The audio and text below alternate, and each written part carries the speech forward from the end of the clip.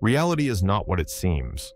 The world you perceive, the solid ground beneath your feet, the unyielding walls around you, the immutable laws of nature you accept without question, is but a thin veneer over something far more profound and malleable.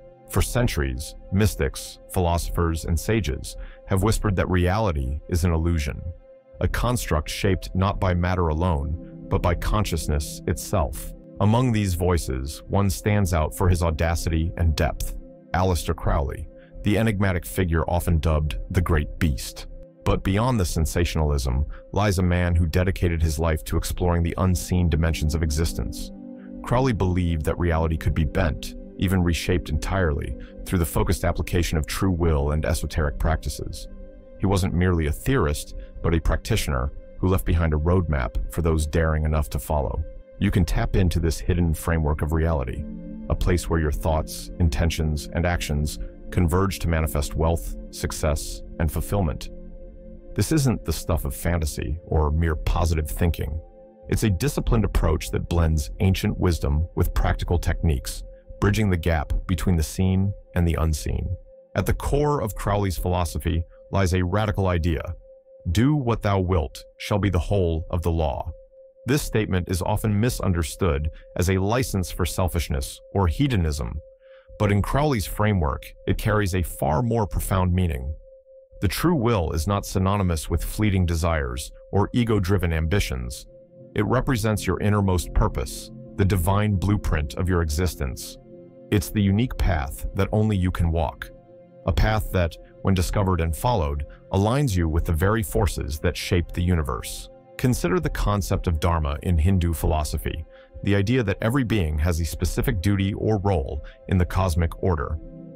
Similarly, ancient Greek philosophers spoke of logos, the rational principle that governs the cosmos. Crowley's true will echoes these concepts, but emphasizes personal discovery and alignment. He posited that when you act in accordance with your true will, you become a conduit for universal energy, allowing you to manifest your desires effortlessly. But how does this relate to wealth? In Crowley's view, wealth is not merely material accumulation, but a natural byproduct of living in harmony with your true will. When you're aligned, opportunities for abundance present themselves as if by magic. Obstacles dissipate, and actions flow seamlessly towards your goals. It's not about chasing money, but about becoming the kind of person to whom wealth naturally flows, a person fully aligned with their divine purpose. To grasp Crowley's methods, we must first challenge our conventional understanding of reality. Modern science, particularly quantum physics, has begun to unveil a universe that is far less concrete than we once believed. Subatomic particles exist in states of probability, only settling into a defined state when observed. This phenomenon suggests that consciousness plays a role in shaping the physical world, a concept that Crowley intuitively understood. He taught that reality is a construct, a tapestry woven from the threads of thought, emotion, and intention. Your beliefs and perceptions act as lenses filtering and shaping the raw energy of the universe into the experiences you call real. If you believe that wealth is scarce or that you're unworthy of abundance, these beliefs manifest as your reality. Conversely, by altering your inner landscape, you can transform your external circumstances. This idea aligns with the law of attraction, but goes deeper. Crowley emphasized that mere wishing is insufficient. Effective reality creation requires disciplined practice, symbolic actions, and alignment with universal principles. It's about becoming an active participant in the co-creation of your world, not a passive recipient of circumstances. Before you can begin manifesting wealth or any other desire, you must first clear the mental and spiritual clutter that obstructs your true will. Negative thoughts, limiting beliefs, and energetic blockages act like static interference, distorting the signals you send into the universe. Crowley advocated for the lesser banishing ritual of the pentagram as a foundational practice to cleanse your inner and outer space. Find a quiet, dimly lit room where you won't be disturbed. Light a white candle to symbolize purity and clarity. If you have incense, lighting it can help create a sacred atmosphere. Stand in the center of the room, facing east, the direction of the rising sun and new beginnings. Close your eyes and take several deep breaths. Feel the ground beneath your feet. Imagine roots extending from your feet into the earth, anchoring you. Open your eyes and visualize a bright white light forming a pentagram in front of you. Extend your right hand, or use a dagger or wand if you have one, to trace the pentagram in the air. As you draw, vibrate the word Yod He Vav He, the Hebrew name for God, to charge the symbol with divine energy. After completing the pentagram, visualize it glowing and pulsing with energy. Turn to the south and repeat the process, tracing another pentagram and vibrating Adonai. Turn west, trace the pentagram, and vibrate Eheieh. Turn north, trace the pentagram, and vibrate Agla. Return to facing east. Visualize a circle of white light connecting all four pentagrams around you, forming a protective barrier. Stand in the center of the circle. Raise your arms and declare with conviction, I banish all negativity and align myself with my true will. Feel the energy of the space transform, lighter, clearer, and filled with possibility. Take a moment to meditate, absorbing the purified energy. When ready, extinguish the candle and conclude the ritual.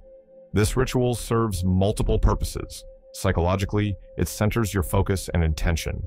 Energetically, it clears away negative influences that may hinder your manifestation efforts. Symbolically, it represents your authority over your own reality, reaffirming your commitment to aligning with your true will. With your space cleared, the next step is to attune yourself to the natural cycles of the universe. Crowley believed that aligning with cosmic rhythms amplifies your ability to manifest desires. The Liber Resh Vel Helios is a ritual that involves saluting the sun at its four daily stations, sunrise, noon, sunset, and midnight. At dawn, face east as the sun begins to rise. Extend your arms in a welcoming gesture and say, Hail unto thee who art Ra in thy rising even unto thee who art Ra in thy strength. Visualize the sun's rays infusing you with vitality and illuminating your path. At midday, face south, the sun at its zenith. Declare, Hail unto thee who art Ahathoor in thy triumphing, even unto thee who art Ahathoor in thy beauty. Feel the fullness of the sun's energy, symbolizing the peak of abundance and opportunity. As the sun sets, face west. Say, Hail unto thee who art Tum in thy setting, even unto thee who art Tum in thy joy. Reflect on the day's events, releasing any negativity or obstacles encountered. At midnight, face north. State, Hail unto thee who art Khephra in thy hiding, even unto thee who art Khephra in thy silence. Embrace the stillness of the night, trusting that unseen forces are working in your favor. By performing this ritual, you synchronize your energy with the sun's cycle, symbolizing the continuous process of renewal and manifestation. It's a reminder that just as the sun rises and sets, so too do the energies of creation ebb and flow. Rituals are powerful, but without addressing your internal landscape, they are merely performances. Crowley emphasized the importance of introspection and mental discipline. Negative beliefs about wealth act as subconscious barriers to abundance. To dismantle these barriers, you must first become aware of them. Set aside uninterrupted time in your sacred space. Write down all your beliefs about money and wealth, both positive and negative. Be honest. No one else will read this. Review your list and highlight statements that reflect scarcity, unworthiness, or fear. Common examples might include, money is the root of all evil, rich people are corrupt, or I'm not smart enough to be wealthy.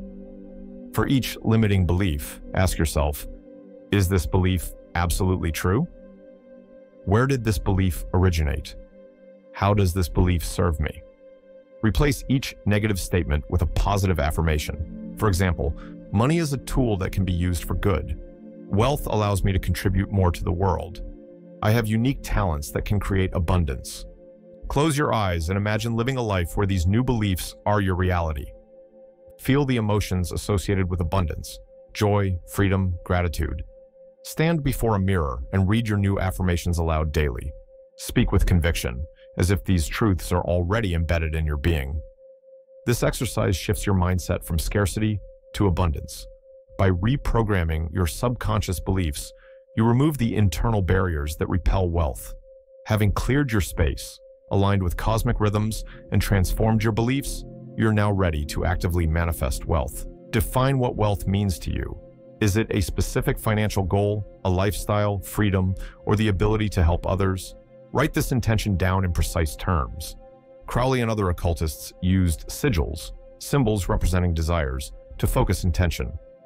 To create a sigil, write your intention in a simple sentence. I have financial abundance. Remove all vowels and repeating consonants. Rearrange the remaining letters into a unique symbol or abstract design. This symbol bypasses the conscious mind, embedding your intention into the subconscious. Enter a meditative state using deep breathing or soft music. Visualize your sigil, focusing on it intensely until it seems to take on a life of its own. Feel the emotions associated with achieving your intention. Charge the sigil with energy through emotional intensity. This can be achieved through methods like ecstatic dance, chanting, or other forms of physical movement that raise your energy levels. After charging, release your intention into the universe. Trust that the forces you've set in motion are working toward your desire. Avoid obsessing over the outcome. Doubt can counteract your efforts. Be alert to opportunities that arise. Take practical steps toward your goal, aligning your actions with your intention. Crowley stressed that magic requires both spiritual and physical effort. While Crowley's methods are rooted in the occult, they align remarkably well with modern psychological principles. Every step you take brings you closer to aligning with your true will. The path isn't always easy, and it isn't quick. But for those willing to delve deep, to question, to practice, and to believe, the rewards are limitless. The question remains, are you ready to step into your power and claim the wealth that is your birthright?